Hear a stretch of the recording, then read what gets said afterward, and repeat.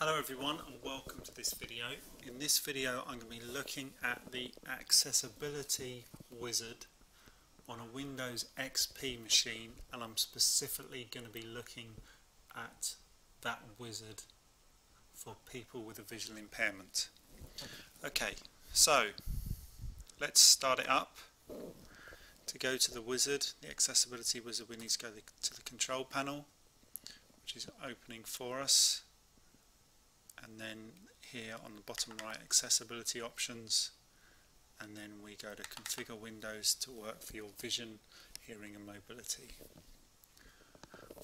So the wizard is essentially, um, it's got four or five or even six screens for us with a few questions on each screen. And we basically select the most appropriate answer to their questions. And then the wizard adapts the computer display accordingly. So the first thing is about text. Can you use, can you read the usual text size or large windows and menus or do you need to use Magni Microsoft Magnifier?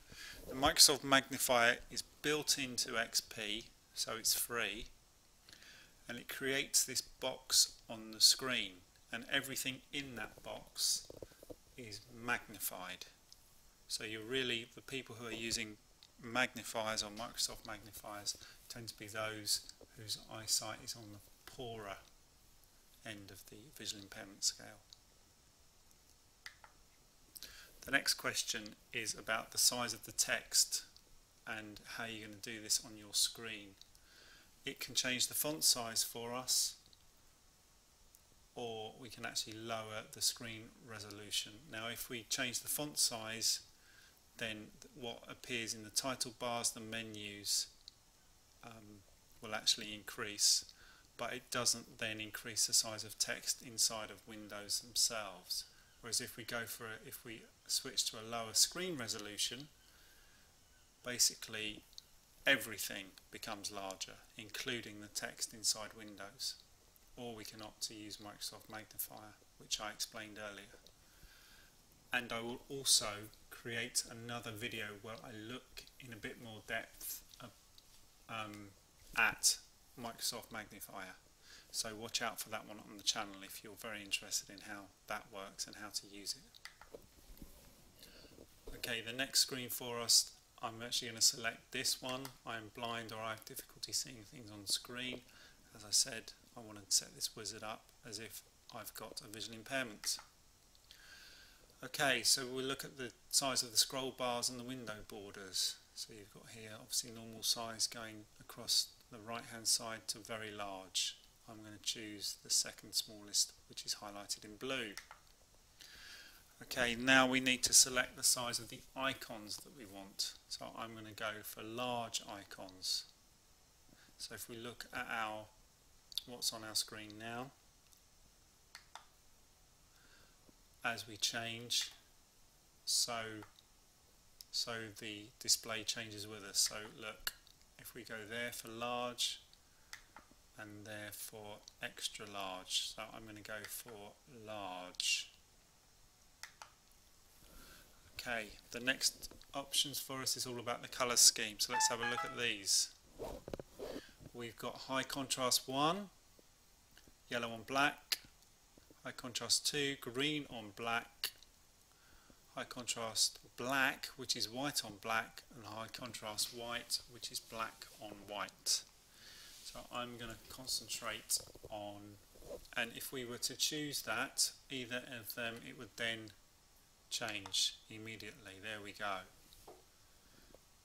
And what's also nice is we've got a back button so if we suddenly start to get a little bit scared that it's the wrong one we can just choose the next one and it will move it all back for us. Okay so there is as well as there being a next button to take us forward to the next part of the wizard we can always use the back button as well. Okay the next screen in fact let us go for high contrast black like that. Okay the next part of the screen is about our mouse cursor going across the white, uh, the right from going across to the right, we've got a choice of the colour of it, white, black or inverting.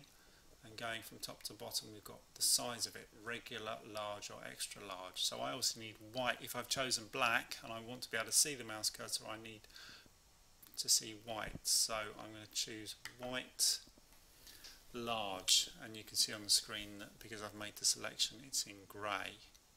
And again you can actually see that my mouse cast my if I take us back actually let's have a look if we go to regular you can see it changing here as I make a change. So if in fact if I do extra large there you can see that the cursor is very very big but let's stick back with the large one and go to the next one. Okay this is all about the behaviour of the cursor and the appearance of it. So the top bar here we slide it to the left and the cursor's blink rate slows right down as you can see on the screen. Slide it to the right and the blink rate gets incredibly fast. And I actually find that faster blink rate harder to look at to say the truth. I would tend to be in the middle.